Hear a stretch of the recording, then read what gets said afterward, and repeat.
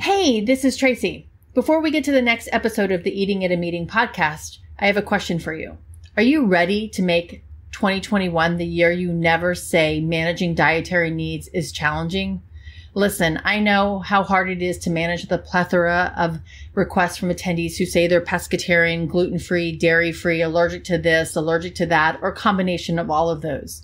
I've been there and I have helped my clients create more memorable experiences for their attendees.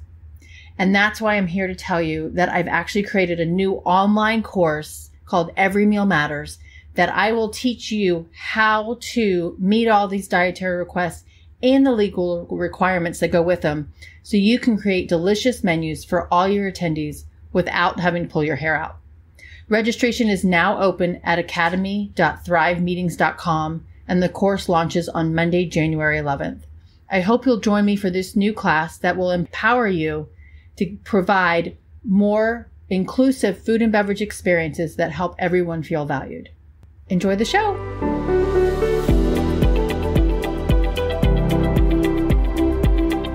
Welcome to the Eating at a Meeting podcast. I'm your host, Tracy Stuckrath, dietary needs expert, certified meetings manager, certified food protection manager.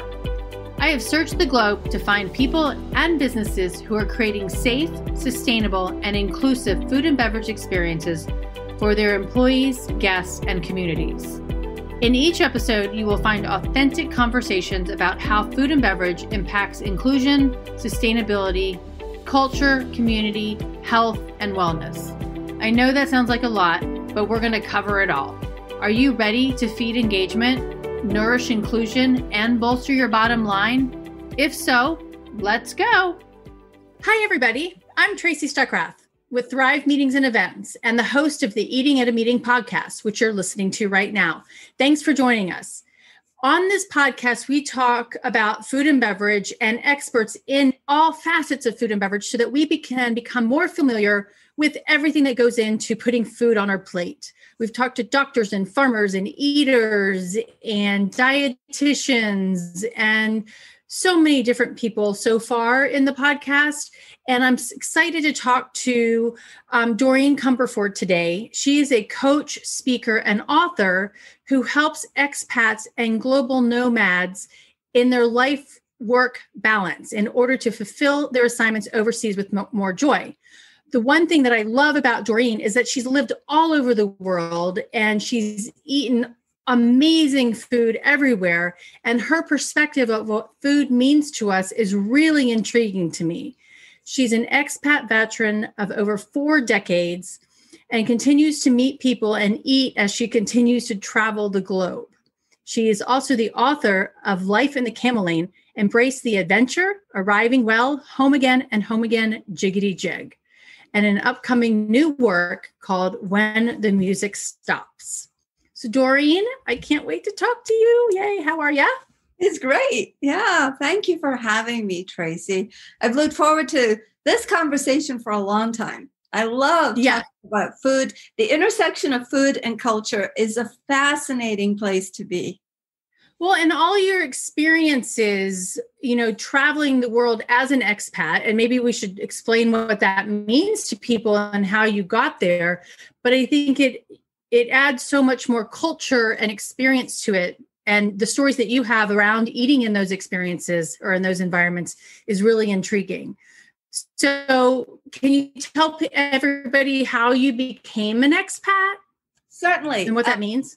Yes, certainly. I grew up in Scotland, in Glasgow, Scotland. I won't put on my Glasgow accent for this recording, though.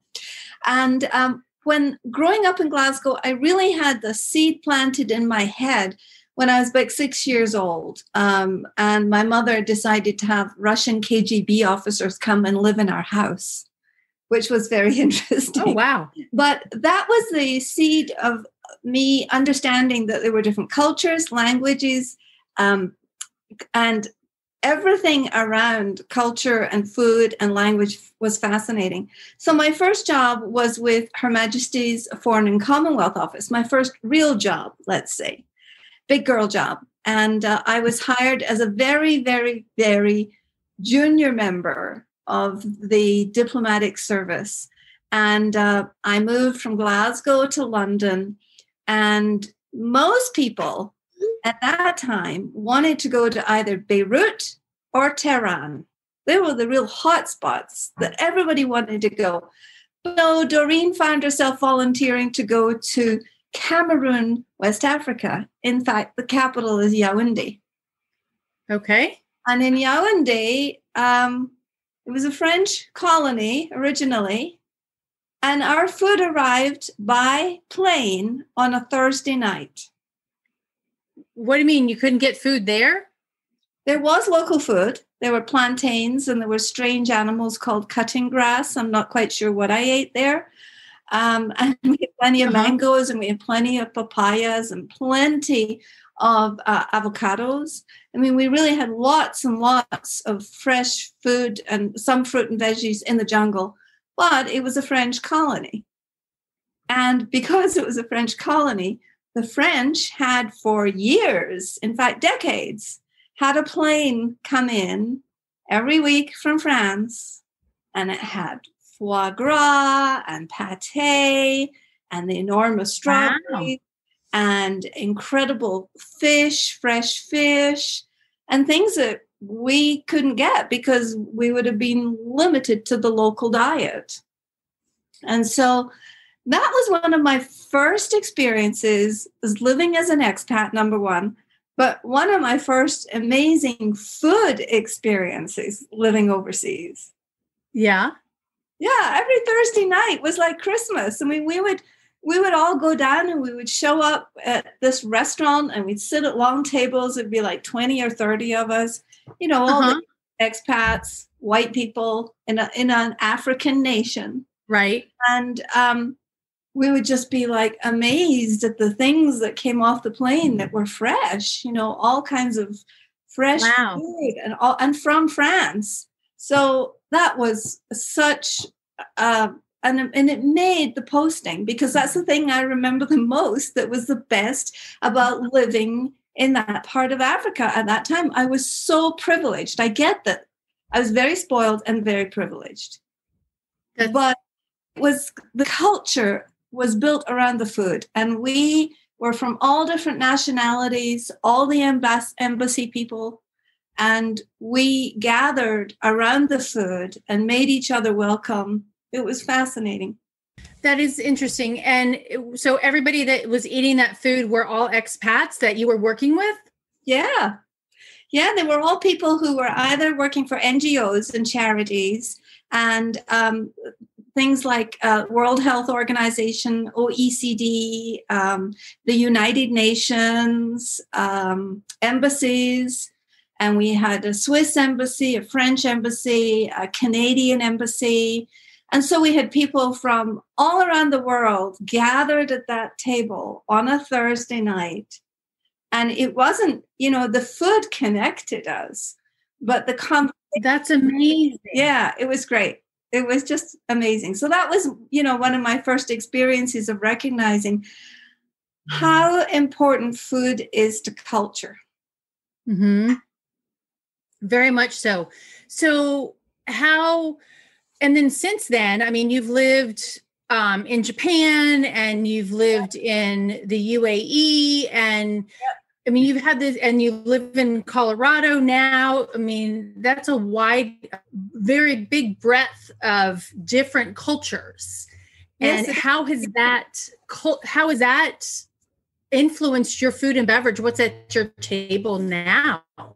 Well, um, I find myself eating simpler and simpler because, as you know, um, my husband and I are semi-retired.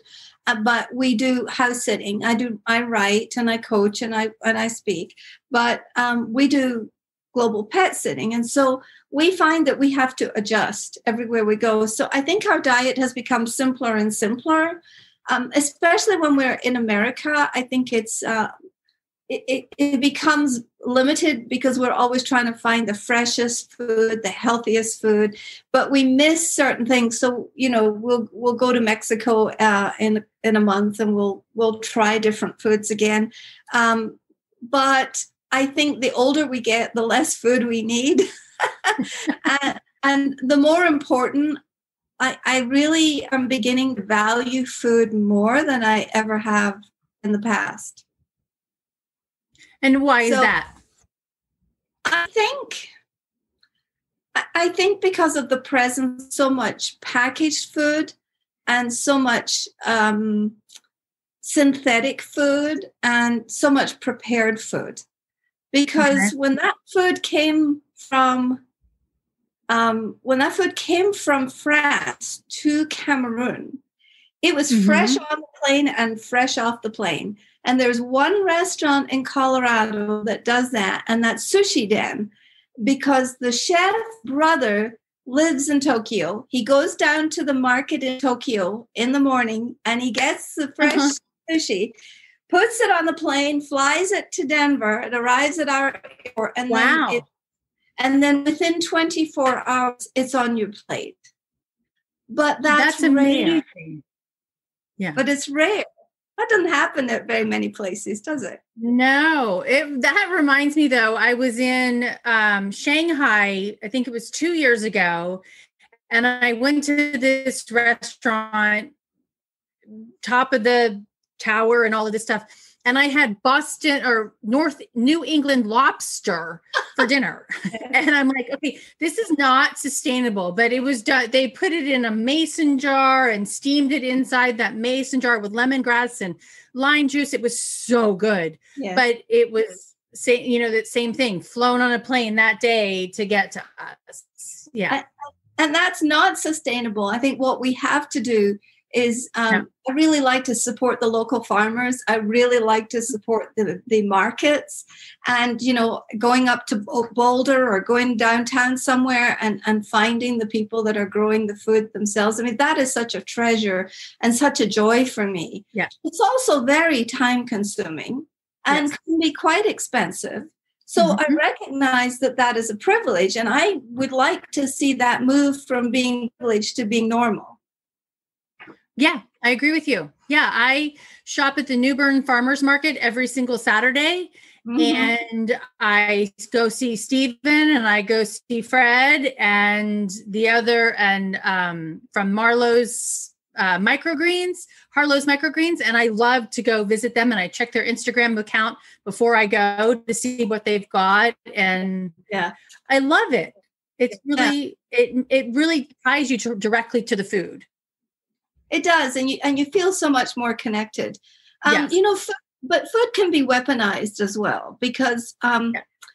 when I lived in uh, Louisiana, I married a fellow in the Middle East, but he was from originally Mississippi. And I came, somebody who'd worked like in, lived in Scotland, worked in the Foreign Office, been to, worked in Africa, worked other places in the Middle East, met this fellow, and moved to Louisiana. That's and a culture shock. huge culture shock, but huge food culture shock for me because I didn't know the difference between an etouffee and a, you know, something else. I just had no clue. I didn't know that a lady finger was the name of a vegetable. I had I was just clueless, Tracy. But um, my in-laws kind of treated me as if I was clueless, and I was. But the way that I earned my way into that family was by learning to cook Cajun food. And so it was interesting, interesting, because yeah. the food became weaponized. It became like know, mm-hmm. codified and you know let's see how good her roux is and you know let's see. And and for me i just like stepped into the challenge and thought well i can i can you know i can do this. This isn't hard. And i figured i figured out how to cook. Now i don't cook like that anymore because my values have changed. My food values have changed over the years. I i don't I no longer value roux because there's so much butter in them. I mean, they're, they're terrific, but I don't eat that every right. week. Right, exactly. Yeah. So, so culture and the is sorry, the culture and the use of food and how we use food is fascinating. It really is. And one of the when I asked you earlier, um, you know, previous conversation was what does safe and inclusive food and beverage mean to you? And there's one word that you use that I just love. Um, the word welcome. Was it welcome? And, yes. Yeah. Um, yes. Um, yeah. Food is never about food. I attended the San Miguel de Allende Writers Conference earlier this year in Mexico, and I went to a, a food writers workshop. you know, I'm a writer. I like food. I figured, well, I'll go find out what that's about. I'll just, you know, just experiment. Uh-huh. And just as I thought, the first thing she said was, food is never about food. And writing about food is never about the food. And I was like, that's what I believe too. This is fascinating. And then I came home and I thought about it more and I thought, you know, it really is the art of welcome. And living in Saudi Arabia, as we did for 15 years, um, the greatest thing that I learned there was how to create a welcome for people. And it really is, uh, it's, it's doing less, but it's doing simple things. And it's actually, uh, it's a rite of passage. It's a sacrament. It's uh-huh. sacred. It's a it's a ritual. It's not just eating to sustain yourself. It's eating to welcome the new life that you want in your body. That's interesting. And then you were also talking you know welcoming people to the table and you had that whole group of people in cameroon and it reminds me of the refugees and people using the food to welcome them into the neighborhood or welcome, you know, showing them, hey, this is me, this is where I came from. Yes. You know, yeah. let me show you what I can bring. And that's, and it's usually food. It is, and and one of the first experiences I had in Arabia it was going out to the Bedouin tents out in the desert. And when you go to the Bedouin tents, they're not expecting you. When there's you don't make an appointment, you don't get an invitation. You're just kind of driving around and you go, "Oh, that's an interesting tent. Oh, maybe there maybe there'd be something interesting to to go explore." And so the Bedou and the Bedouin have from Abraham's time actually broken bread and actually welcome people. Now, frequently back then, they would welcome people because they wanted to see whether they were friends or enemies, what their motives were, and what they could learn because that was how news traveled. Right.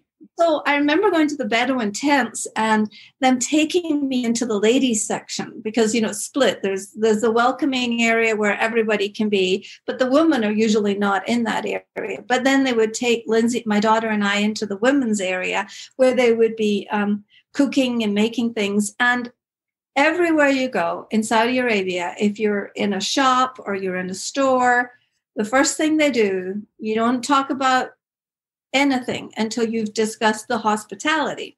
And the hospitality starts with, Can we get you a drink? Would you like tea, coffee, a soda? And they probably don't even have it on premises. So they send a runner and he runs down the street to the little store and he comes back with whatever you wanted. So the art of welcome was practiced before the art of meeting or greeting or business or anything else. And we put our daughter up on these, you know, 10 feet high carpets when she was like two or three years old. We'd prop her up there and we'd give her something to drink liked and she'd be happy for hours just watching everything that went on and and it was that sense of welcome and it was only one beverage it didn't cost them a lot. So when you go to the Bedou, they make you the cardamom coffee, which is actually like a tea with cardamom seeds swimming around on the top. Okay. But, I mean, I love that. I just loved it because I felt yeah. welcome. And if you feel welcome at a meeting and you feel welcome at the yeah. table, mm-hmm. your experience of the food is, in my opinion, is a little different.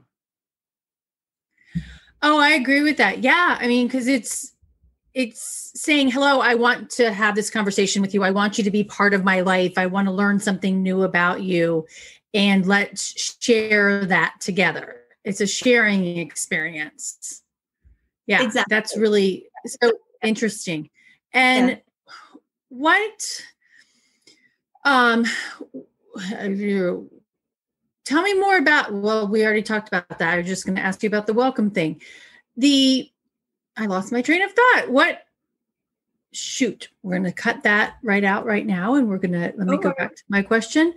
Um the so uh, i was going to ask you about the you worked at the diet center franchise. I so did. yeah okay. So you one of your jobs through out mm-hmm. your career was to actually work at a diet center franchise. Yeah. How talk about how that was in in coaching people that way, but also taking the the food culture that you've brought from so many different experiences.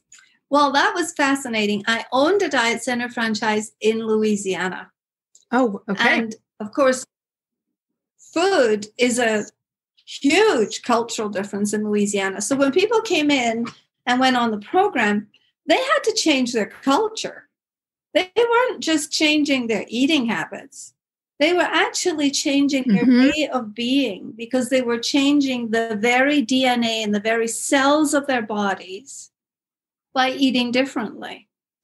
Yeah. And, you know, to this day, I still eat towards the diet center program. I mean, I still eat a little bit of um, chicken and, and fish and really light protein and lots of mm-hmm. fruits and veggies and that sort of thing. So that influenced me tremendously. But it also taught me a lot about one particular corner of America, and that was New Orleans and New Orleans food. And it took me until I moved to California and now I'm in Colorado. Um, I've like moved, well, I've lived in four states, also the Pacific Northwest. And what I see is the different cultures and how they interact with food and how they use food in, in different parts of America. You cannot talk about mm-hmm. this country as if it's a, uh, just one unit. We are all different. Yep. Yeah, I mean, food from where I was in Atlanta to North Carolina. I mean, think about just different types of barbecue in and of itself. Yeah. You know, going up and down the East Coast to the South and then going across. What does that barbecue mean? Yes. Um, depends on where you are. Mm-hmm. And so it, it definitely is we are we are a melting pot of variety of different ways, but food is definitely that way as well. Um, one of the other things that I really liked about um, one of your experiences that was the setting up of the tables. You had a story about that. The um, you know when you bring in people and how you set those tables up and what that means to and bringing us back to that word welcome. Um, in the one of the one of my fondest memories of Saudi Arabia is returning there in 2015 um, we had hoped we would be there again by now, but we, the last time was 2015. And I remember we had a meal out by the water, out by the bay, and they'd set down all the tables outside. And they have these beautiful, you know, Middle Eastern candles that are very flickering, very patterned. And and a huge platter on the table with the rice and the chicken and because kabsa is very very it's the most popular dish in saudi arabia. Of course it's you know eaten hands and then put on your plate. But besides that they had so many other little things on the table that when you come into that situation you just feel really welcome because you feel like people have worked so hard and there's an honoring of the time and the energy spent by the people that have prepared it, which we don't get when we go to meetings in this country. You know, the mm-hmm. chef is kind of like way in the kitchen, and you're lucky if he comes out and says, How was your chicken? You know, um, I'm just talking about meetings now, not restaurants. um, but that's mostly my experience of corporate meetings is, you know, they might come out and say, How was it?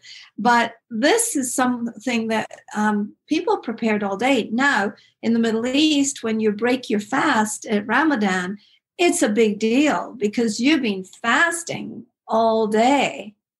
And so we right. went to, we would go to um, Jordanian and um, Palestinian friends' houses, and they would have other people, and it would just feel like family. It felt it felt more family than family feels to me nowadays because wow. that sense of welcome was there. They had taken the time, they had prepared certain things, there were traditional things. And you know, a lot of times my one of my best friends and my favorite hostesses, she hadn't necessarily cooked the food because she was in a privileged position where she had um, a maid that worked in the house or two maids that worked in the house. And so they did a lot of the preparation, but she was also very hands on. So it taken the three of them all afternoon and maybe days before to prepare some of the stuff. Yep. And, you know, there's a sense of honoring that time put in. And there's, and I think having a set table, if you have a table, I think it should always have something on it. It should always have some kind of a table setting. Anywhere you go, if you go in and you see a table setting, you feel more welcome usually, don't you? If you go into a store and you mm-hmm. see a set table. So that's just part of the philosophy of welcome and and it's a great way to build diversity and inclusion, which I know you're starting to talk a lot about. Yes, definitely. And it is it's definitely creating that no matter where you're coming from. So just going back to your dinner at, the, at Cameroon, it didn't matter where everybody was coming from. That food was being shared with everybody from across the world, and and granted, some people may not have been able to eat it or chose not to eat certain parts of that, but it was that shared meal that they had. Um, just, a story just popped into my head that when you said when you like to see that place setting is my friend Lori that I worked with um, probably 15, 20 years ago, whenever she ordered takeout, she would always take it out of the container and put it on a plate and get silverware. Yes. Because she wanted to make sure that she was experiencing that meal the way that it was meant to be instead of eating it out of the styrofoam or the cardboard box or things like that. And I think with COVID right now, we have to, we're not, if people are ordering stuff there's a lot of takeout so it, but it, you know if you're bringing it home take it out and put it on that plate and open up that experience for what it's supposed to meant to be yeah and make it a ritual because it is eating yes. is a mm-hmm. ritual mm-hmm. meetings are rituals but eating is a ritual that we perform every day and if you make I think there's some energetic woo woo kind of magic around all of this that you probably don't want to get into. but I, I do think if, if when we're mindful of what we're putting in our bodies and how we're using our bodies and what our intentions are, that that echoes out into the world in the form of your intention. So right. I think that eating with intention, and even if it is takeout, you know, bless the chef, thank the chef, be great, practice great gratitude around the food that you have food. Right. Yeah. Definitely. And and especially right now with everything going on, I mean, yeah. we we need to be grateful that they're still there to to feed us and for us to actually have the opportunity to help them feed their families at the same time by taking out from them or, or going to their restaurant um, jumping back to the diversity and inclusion, it, it's definitely something that I talk about. And because we are diverse in so many ways, and whether it's what country you're from or what part of the country you're from, because even in India, there's a variety of different dietary needs and preferences and styles, and just like the United States. And, you know, uh, yeah, we have to accept those different diversities of that and figure out how to be that inclusive inclusive thing. But i think what you said was making it with intent. And i think whoever's placing the orders for the food and beverage have to think about the intent instead of just saying oh my god we got to have lunch right? Let's just order this. But thinking about what's the intent of that meal you're about to serve and can that food enhance that intent. Um, or are you what you're ordering? Is it going to hurt the intent of that meal at the same time? Yeah, yeah. I, I do think there's a lot for chefs to think about the and i think this is why some of the really high end restaurants are successful quite frankly mm-hmm.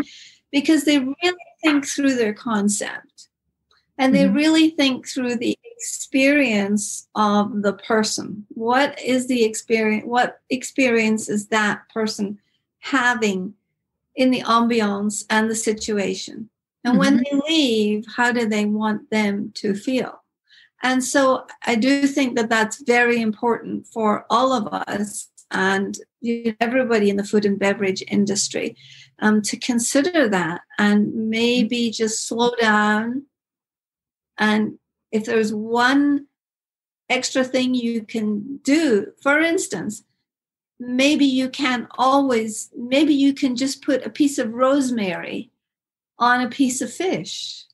But mm-hmm. you know, mm-hmm. that sprig of fresh rosemary makes a difference. Yeah. Or maybe you can serve an ice cream and have a tiny piece of lavender on the side. You know, yep. it doesn't take a lot and it doesn't have to be expensive.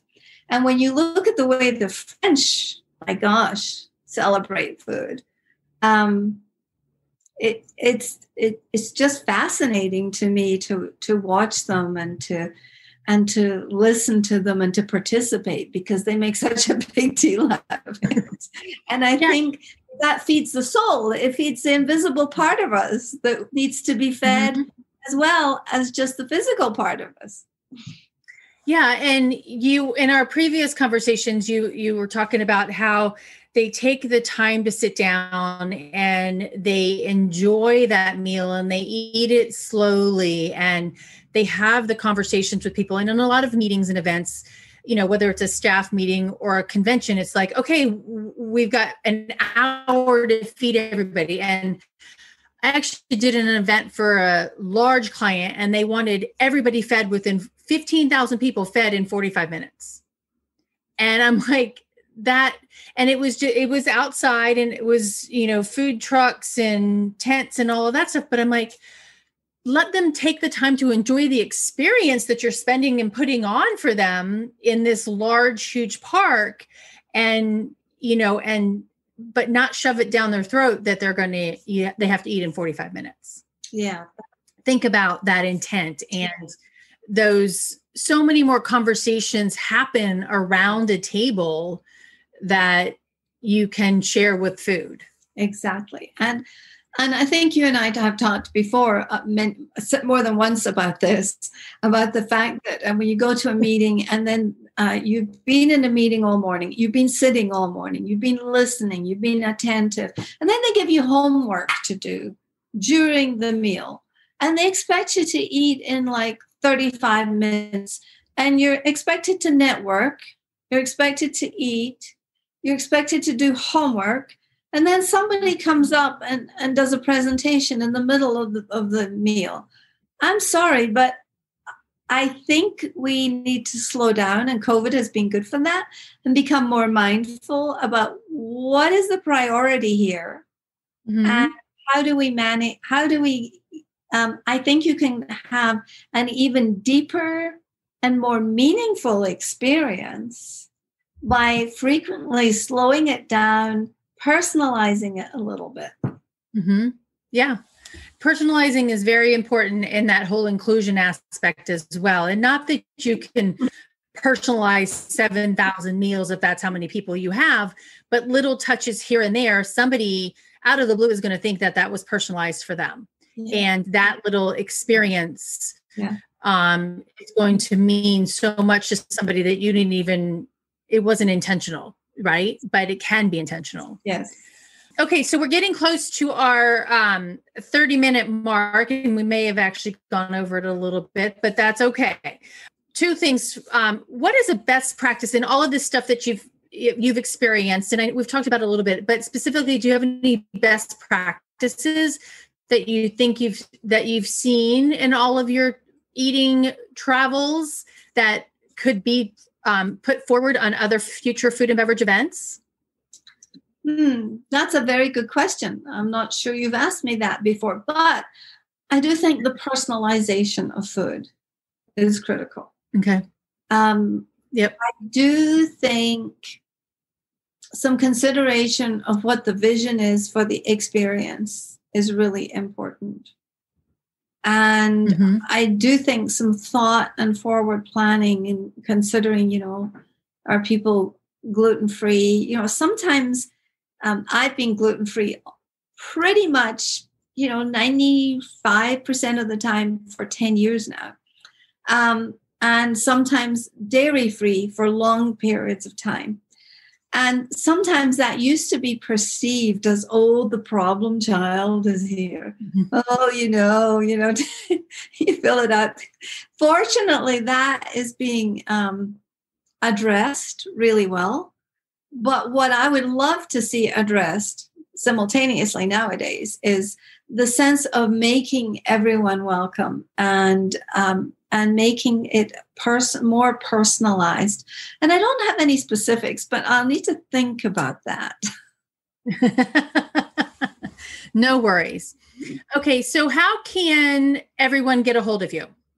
Oh, I'm at uh, DoreenMCumberford.com or um, you can find me on LinkedIn and uh, or Life in the Camel Lane. I think I sent you the links. Yes, you did. Yep, you sent me the link for the book, so I will make sure everybody's got that when we post link this. And and just on social media, I'm on Facebook, and um, uh, you can find me under Reentry Rock Stars if you're interested in the subject of returning home, particularly returning home from overseas and I about adventure, how to create how to create adventure even in a, an ordinary day. And that could be food could be part of it. Mm-hmm. definitely. Yep. And that's there's lots of good foodie tours out there um, that you can do in person but i think a lot of them have converted them to be virtual. So mm-hmm. looking through all of those and and seeing what you can experience you know worldwide it's the COVID has really helped us open up those experiences. And maybe you can't eat it here, but you can learn about it. Yeah. Okay. So, with all of your travels, what is you? Do you have a favorite food or beverage? Oh my gosh. Uh, I have memories of foods that feed my soul. And the last time you asked me a question like this, I told you about sugar bread in Saudi Arabia. Mm-hmm. I'm thinking I should read a book, uh, write a book about food and travel because there's so much coming out here. um, I remember cooking a meal in October 2019 in the Dordogne uh, while I was pet sitting for a lady in the Dordogne at uh, an old abandoned farmhouse that had been rehabilitated with a beautiful um, extension added onto it. And she had a great kitchen. And so I sent my husband to the store. I said, Hey, honey, would you go get uh, a kilo or two kilos of um, beef for beef bourguignon? Well, he came back and it was 40 euros a kilo. oh, wow it was 40 euros, which is, you know, about $50. And um, he came back with that meat and I cooked it in her kitchen with her spices and everything there. And she had a great kitchen. And it came out absolutely fabulous. And I was so thrilled because when she came back, she said she'd never had a house or pet sitter make a meal like that in her kitchen before. And, you know, just those kinds of experiences, taking the time, putting the energy into it, making it really nice. And it was easy. I used Julia Child's beef bourguignon recipe, which is timeless. and you cannot go wrong. And if you're in the middle of France, you just walk down to the next farm place and get, or the winery and get a bottle of red and bring it back and put it in and fix right. it if it's awful. it's not hard. It's really not hard. so that's one of my, that is one of my, um, I don't eat that very frequently, but that's kind of a go-to meal for me if I'm like really, really uh, hungry and need nurturing and it's cold and wet and rainy outside. And that that's a meal that can ground you, you know, with the spices yeah. and the heartiness of it. And I and I love that. But I also that story takes me back to what you said at the very beginning and that that you know food is not just about the food you know or eating is not just about the food. It's about that overall experience. And it was that woman's kitchen who you which you really loved because it was this great kitchen. And and the fact that she she said no one else had cooked a meal like that in her kitchen you know that is a whole nother story around yes, that yeah yeah. I think food is a lot has a lot to do with place. Mm-hmm. and um, I think our lives are affected by geography and we're prisoners of our geography way more than we understand. And so yeah. I think unlocking the key and seeking the food that is local, that is sustainable, that is healthy and lively um, helps you create a better life ultimately. That's awesome. Well, we're going to end on that note. Thank you, Doreen, for being on the show. Thanks, Tracy, for um, having me. It was lots. We've had some great conversations about food. Thank you so much for. You're welcome for, for exposing all these memories. we are that, and I love that. It's really good because food is memories, and I think that was actually from a movie. Um, but yeah, food is memories, and it it, and I'm glad that the memories conjure up or the food conjures up such good memories and sometimes probably not so good but um but it it brings back things and it welcomes us even to look at how we approach food and beverage in the future so yes i appreciate yes. it thank you well everyone thank you so much you're welcome. Thank have everyone. Thank you for listening to the Eating at a Meeting podcast. Um, two episodes come out a week. You can find it on all your podcast favorite podcast platforms. Um, and you can go to eatingatameetingpodcast.com to see as well to listen to them there. Um, they are also, all of the transcripts are turned into blog posts as well. So you can also, if you want to read them, you can do that as well. So this is Tracy Stuckrath with Thrive Meetings and Events and your host for Eating at a Meeting. And we'll see you next week. Thanks, everybody. Thanks for listening to the Eating at a Meeting podcast, where every meal matters. I'm Tracy Stuckrath your food and beverage inclusion expert. Call me and let's get started right now on creating safe and inclusive food and beverage experiences for your customers, your employees, and your communities. Share the podcast with your friends and colleagues at our Eating at a Meeting Facebook page and on all podcast platforms. To learn more about me and receive valuable information, go to tracystuckrath.com.